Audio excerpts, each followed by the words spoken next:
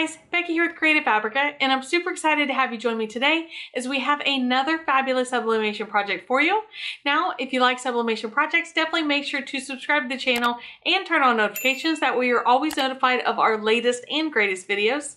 But today, guys, I'm going to show you how to sublimate on these cute frosted water bottles from Walmart.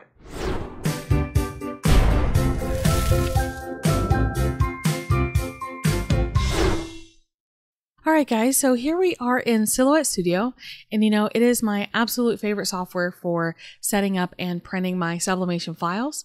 And of course, if you're looking for a software to use with sublimation or you are interested in learning more about Silhouette Studio, we do have a really great introductory video already on our YouTube channel that is an introduction to using Silhouette Studio for sublimation. So definitely check that out if you haven't already. There's a lot of great information in there. But today I am going to give you the basic overview of pulling in a file and um, we're going to size it and go ahead and print it from the software. So first thing, let's go ahead and check our page setup panel here because that is the first step that I like to do when setting up my sublimation designs. I'm going to go ahead and change my media size to letter because that is the size of paper that I'm working with today. And then I'm going to turn on my show print border because that's important. This thin gray line around the outside basically tells me what my printer settings are set up to print. It's a preview of my printable area in the software, and it can often often be an early indicator of um, you know issues with what my page uh, setup settings are on the printer level. Okay, so just make sure you turn it on. It can save you a little bit of heartache. And the next thing we're going to do is go to File and Merge. And we are going to bring in, let's go to our Downloads folder. We're going to bring in a tumbler design. Here we go. Now this is a skinny, straight tumbler design. And, you know, I have worked with a lot of skinny tumbler designs, so I get to cheat a little bit, but I'm just going to rotate it 90 degrees. I'm going to lock my aspect ratio. And then for my width, I'm going to type in 8. To five inches. Oh, just kidding. I meant for my height, I'm going to type in 8.25 inches, and then I'm just going to center the page. And the last thing I'm going to do is I'm going to flip it. Okay. Now, flipping or rather mirroring is something that you can do either in the software or you can do it at the printer level, but you don't want to do both. So just make sure that you're only mirroring one time. Otherwise, your print ends up right facing, and that's not what you need for your sublimation project today. Now, um, if you saw from the preview, I am going to press this on an orange frosted bottle. So I chose my design knowing that these pinks and yellows and teals are not going to look like this after I press them on my bottle. They're going to be more muted because they're going to take on the orange tint of the bottle. So imagine if you have orange construction paper and you're coloring on it with crayons. It's the same thing. Your colors aren't going to be as bright and they are also just going to take on the orange shading. So I expect my teal to be darker and I expect pretty much almost everything else to look some shade of orange. Okay. Now we can go ahead and print. I'm just going to go to file and print. And we're going to get a nice little print preview here. I really like it a lot. I'm going to go to print down here at the bottom. I can select the printer that I'm working with today. If I need to update any of my preferences like page size or anything like that, I can do that here. I don't need to, so I'm going to go ahead and go to print. And then um, once this prints out and I grab it off the printer, we're going to go over to our work area and I'm going to tell you all my tips and tricks for sublimating on these frosted water bottles. All right, guys, so what I have here this is our frosted water bottle from Walmart. And I won't lie, I have been holding on to this and hoarding it for quite a while. Um, I picked it up in the spring, but I knew it would be the perfect color for a fall water bottle. Then I have my sublimation print that we printed from the software, some heat safe tape, scissors, and this is my SubliShrink shrink wrap.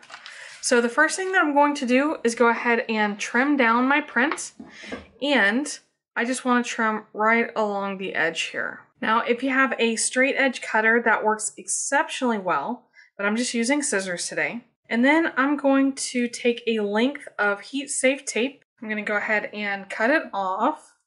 Now it doesn't have to be the exact size of my tumbler, but what I like to do is go ahead and take my cleanest side I'm going to lay the tape down. And I'm just going to lay my print right on the edge. And then I can take, now let's go ahead and take the lid off of our tumbler here. And I'm going to line up the bottom. That helps me to keep it straight. I'm going to fold it under and then I can go ahead and overlap and push my tape down into place. All right, that just helps me to really get a nice tight seal. And then I'm also going to pull off, this feels like silicone, but I don't want to take any chances, so I'm going to pull that off. So here is our tumbler. Now I do have a little bit of overwrap here. Now, all right, let's talk about that for a minute because it's nice and flat on the bottom and I like that, but I am gonna have some trouble up here around the top. So what I'm going to do is just go ahead and snip it. These are about half an inch apart. I don't need it perfect around the top because I'll be honest with you, I don't like a really hard seam anyway on a curved surface like this. Of course, I would have preferred to be able to, um, you know, actually have it tapered, but that's not usually possible. And I'm going to go ahead and take some more heat safe tape and I'm going to try to wrap it. Now, like I said, I'm not expecting that to be perfect. I just want it to be enough. So I'm going to start here and I'm just going to overlap one piece over the other. Okay. And as you start to push them down, you'll notice that they kind of lay that way. They kind of feather. You see what I'm saying? So we're going to take our tape and go ahead and grab the edge of that. And as we put them down, I'm going to use the tape just to push them down in place. Now this is not something that I would do on a normal um, water bottle, but I chose a design that was distressed. So even though there will be parts of this design that don't sublimate really well, this is going to help hold it in place. And then our shrink wrap is going to kind of take care of the rest of it. And any parts that are missing, we just know that that was the cost of sublimating on a water bottle like this. There we go. To see what we got going on. We do have some buckles and some things like that. If you want, you can trim those a little bit. You can take like a craft knife and, and do some relief cuts. Um, but our shrink wrap will help to push those down as well. So let's go ahead and take our shrink wrap, feed our water bottle through until it's in the middle. Make sure both ends are covered. And then we're going to take our heat gun and we are going to apply the heat as this shrinks to our water bottle. Just be careful with your hands because the heat gun does get pretty hot. All right, now you can carefully pick it up and my oven is already preheated. I am doing 375 degrees. I'm going to do three minutes and then turn it over and do another three minutes for a total of six.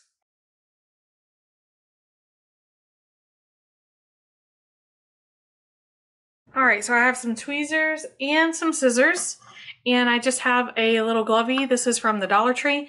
It's not um, super effective. like it is silicone, so it does protect my hands, but it'll warm up after a while. But um, what I'm going to do is just go ahead and work on removing our shrink wrap here so I can show you guys what the bottle looks like afterwards. All right, so let's grab our tape along the top. All right, so very carefully, you don't want to cause any ghosting. We're gonna go ahead and just grab the edge and unroll our design right here. And ta-da, this is our sublimated water bottle. So it's not as dark as it looks. Um, I'm gonna let this cool off and then I will get the up close and personal and show you guys exactly what it looks like. All right, so let's take a look at our tumbler here. There we go. So it took those nice bright colors, which for most seasons would be fine, but for a nice fall tumbler, these look really, really good. You can still see the teal and the yellow, but they're a much more muted fall uh, type of color pattern. And I really like them a lot. And we got good results all the way around. I am not complaining about this at all. Uh, let's go and talk about the top. You can see we did get a little bit of the wrapped look all the way around the top, which is what we were going for. Now, I will say that if I was doing this on a white tumbler, I wouldn't be satisfied. And of course, I would stop it down here and do a feathers sort of look. But, um, you know, you, these frosted tumblers are very forgiving, especially the color tumblers. Okay. And same thing around the bottom. I got a nice, nice, good wrap, but overall I'm very happy with it. Now we have our little silicone piece. We're gonna just pop that right back here in the lid. There we go. Now let's go ahead and add the bamboo cap right back on. It twists right in place. And there is our finished tumbler. So I'm very happy with it. Um, hopefully you guys enjoyed the project today. Now, like I said, these are seasonal, so you may not find them in every Walmart and every time of the year, but if you can, I definitely recommend snatching them up because they are worthwhile and very inexpensive. So that's our project for today.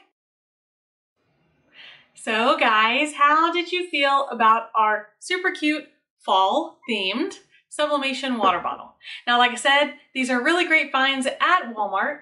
I cannot take credit for knowing that it is sublimatable, but you know, it's always fun to find these items and for a little bit of money, be able to test it out and see if it's something that you can use with your crafting. I'm always on the lookout, basically to any store that I go to, to see, uh, you know, just for new projects, new items and new ways to incorporate crafting into my decor and just pretty much every aspect of my life, if I'm honest with you. But for today, guys, I am going to go ahead and wrap it up. If you have any questions or comments, definitely make sure you leave those down below. I love to hear from you guys. I love to help you any way I can. And make sure to subscribe to the channel, turn on notifications, maybe share with a crafty friend. That way we can keep growing the channel and keep bringing you these really awesome videos. So Thanks again, guys. I do appreciate you stopping by, and we'll see you again next time.